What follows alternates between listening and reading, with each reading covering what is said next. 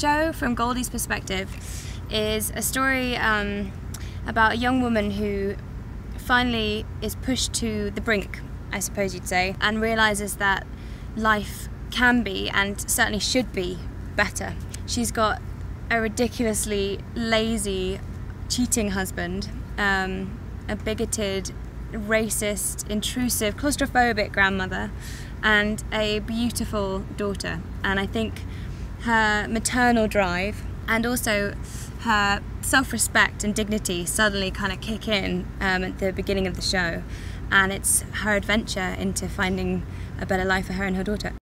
Goldie um, and her daughter Shania have a really interesting relationship. I mean, there's the obvious strong, strong, strong, maternal, protective, selfless, generous, um, heart filled qualities from Goldie. But then there's also this really great dynamic where Shania kind of teaches Goldie certain things um, and is very wise beyond her years and gives Goldie a lot of strength and actually helps her make the push, make the decision to be brave. And I, I think that's a wonderful, they're a wonderful companionship and team, I would say.